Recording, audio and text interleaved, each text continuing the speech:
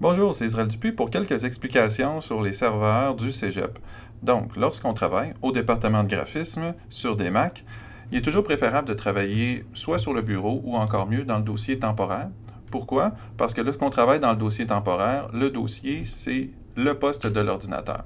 Donc, on travaille vraiment sur le disque dur de l'ordinateur. Ça peut être dangereux de travailler directement sur sa clé ou sur son disque dur parce que lorsque l'ordinateur tente d'écrire le dossier et de communiquer avec le disque dur ou avec la clé USB, le débit est plus lent de communiquer avec le disque USB ou avec la clé, donc le fichier pourrait être corrompu lorsqu'on travaille et ça pourrait ralentir aussi le flot de travail avec le logiciel. Donc, on travaille dans temporaire. Une fois qu'on a terminé, Là, à ce moment-là, à la fin de la séance de travail, on peut venir déposer notre dossier sur notre clé USB ou sur notre disque dur. Faites en sorte de toujours avoir un minimum de trois sauvegardes différentes. Hein. je le répète, une clé USB, ce n'est pas un module de sauvegarde, c'est un module de transport rendu à la maison, déposez ça sur votre ordinateur. Et s'il s'agit de TP, de travaux importants de temps en temps, il est intéressant d'aller faire une sauvegarde sur un disque virtuel qui vous est accessible gratuitement, par exemple avec la suite euh, Office ou avec Dropbox, ou tout simplement vous envoyez le fichier par courriel si vous êtes à court de moyens, parce qu'un disque dur, ça casse, un ordinateur aussi, ça casse. Donc, trois sauvegardes minimum pour chaque travaux.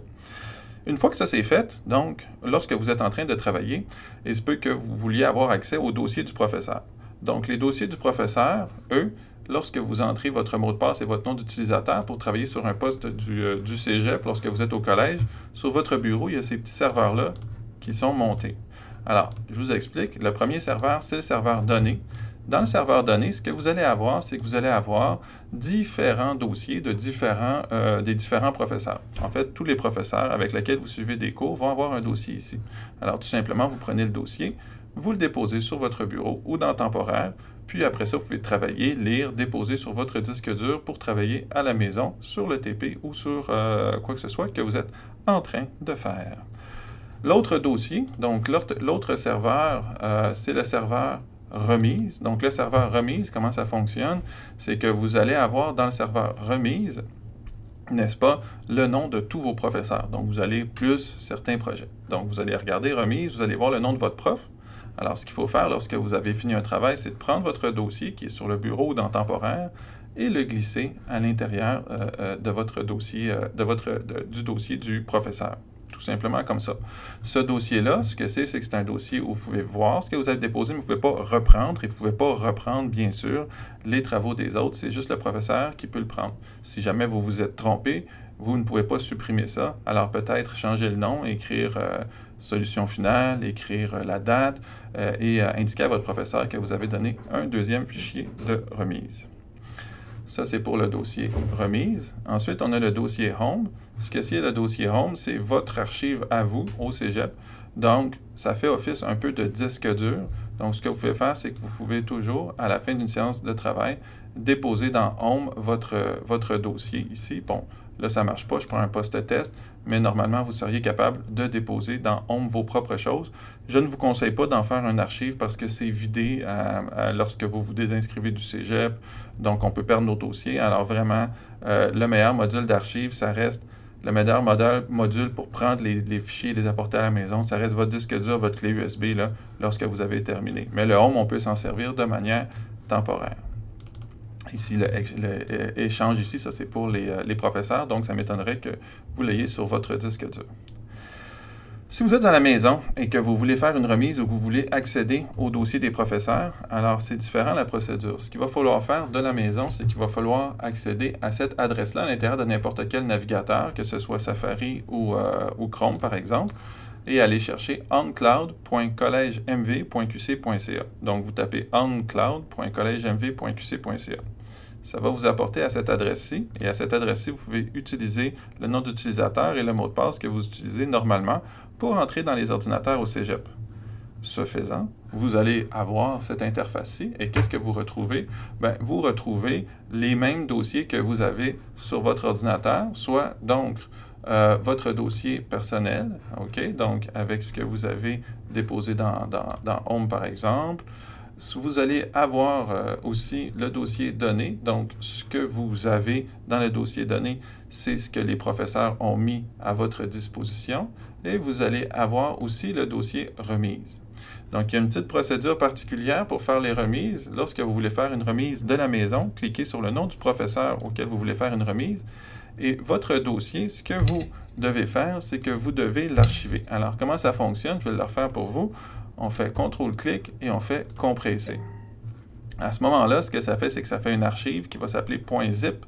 Et ça, vous avez tout simplement ici à entrer dans le dossier. Donc, admettons que c'est ce TP-là que je veux faire.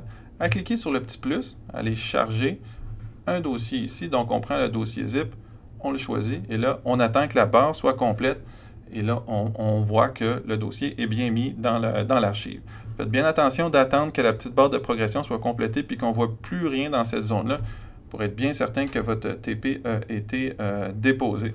Et normalement, la taille devrait être significative. Donc, euh, par exemple, 1 kilobyte, là, on voit que c'est pas beaucoup, il y a, il sous roche. Là. Mon travail a été mal déposé ou c'est un, dossier, euh, c'est un dossier vide.